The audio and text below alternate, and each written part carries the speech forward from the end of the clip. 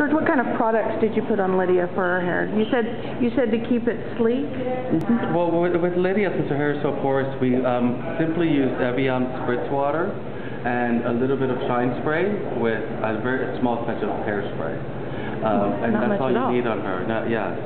Um, we also use the uh, Tresemme uh, uh, uh, style uh, polish spray Mhm. to just seal, seal it and give it an ultimate shine.